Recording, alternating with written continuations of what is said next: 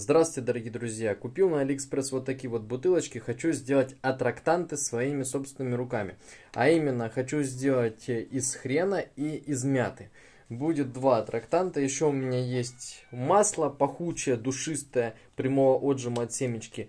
У меня есть еще третья такая бутылочка. Я думаю, еще налью туда маслица. Давайте попробуем, что у нас с вами получится. Итак, э, это я все перегоню сейчас через мясорубку электрическую, у меня, слава богу, она есть. И попробуем с вами потом выдавить сок. Погнали!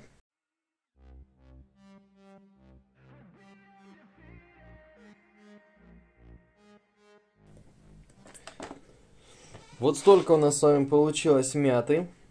Все это заняло 5 минут перемолотой. Давайте теперь попробуем выдавить из нее аттрактант. У меня есть бинт. Сейчас попробуем это все выдавить через бинт.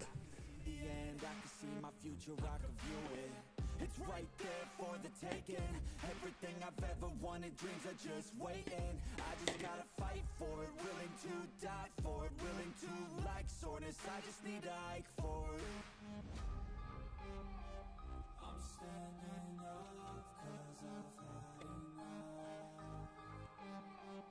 кто не знал, сок от э, мяты выглядит черного цвета.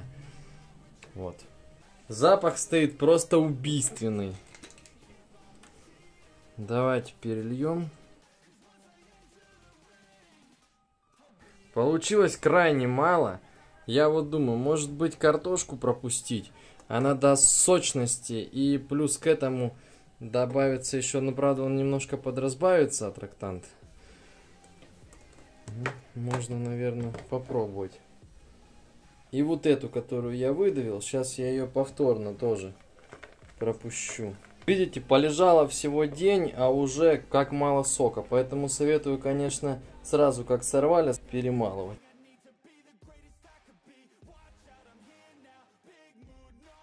Еще что покажу, смотрите, ботва очень сильно забивает ножи. Вот, она не перемололась, поэтому нужно, конечно, очищать.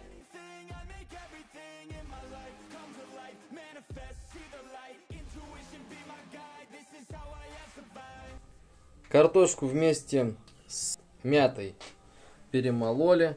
Давайте теперь попробуем отжать это все дело. Запах, сразу говорю, эта консистенция не потеряла. Очень мощный запах мяты, прямо аж, аж нос ждет. Запах остался на том же уровне, термоядерный.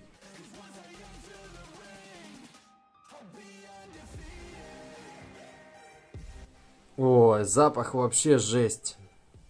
Конечно, немножко мутнее стало, потому что сок от картошки. Но запах от этого хуже не стал.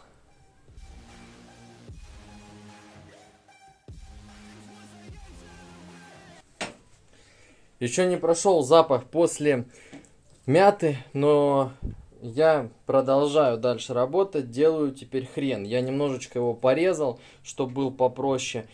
И также нарезал небольшую картошину. Сейчас мы все это будем пропускать.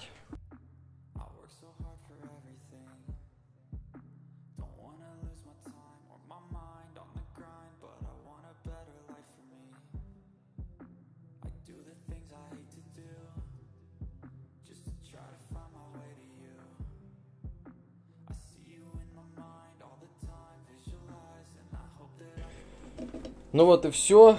Хрен у нас тоже готов. Запах, конечно, вообще аж глаза жгет, друзья. Глаза, рот, все жгет. Его я решил процеживать через вот такое вот сито.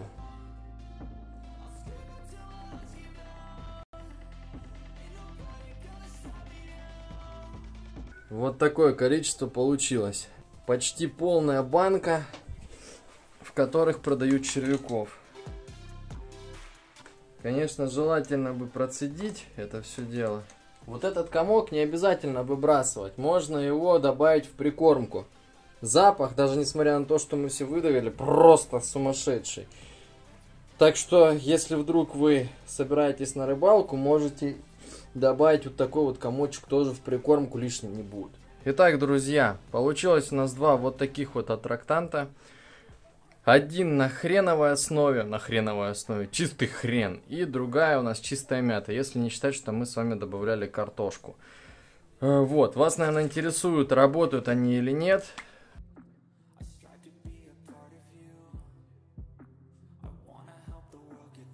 Все работает. Давайте попробуем мяту. Конечно, нужно, друзья, процеживать. Вот не процежено, оно подзабивается немножко. Но это все ерунда. А, так что вот, все работает, аттрактанты работают, все чудесно. Делайте, процеживайте через марлю только это все, либо через специальный фильтр кофейный, либо такой мелкой очистки фильтр, и будет вам счастье. С хрена получилось намного больше, поэтому учитывайте мяты был куст больше у меня, и ее чаще зажевывала, а у нее более такой то ли жесткий стебель, то ли что-то такое, поэтому ее чаще зажевывала. Ее надо чаще пропускать с картошкой, и тоже мелко стебель желательно бы порезать перед тем, как э, ее пропускать через мясорубку. И добавлять картошечки, чтобы больше было сока. И, и надо ее сразу перерабатывать. То есть вы срезали, не на, нельзя, чтобы она лежала хотя бы один день. Иначе она подсыхает и тратит э, свой сок. А вот хрен можно, если вы сорвали на второй день, замечательно, то есть сока было достаточно. Если бы давил через марлю, было бы больше даже, чем пузырек. Поэтому вот такие дела. Ну, тут похуже, потому что подзабивается. Мята вообще просто супер. Все, всем спасибо. Пока.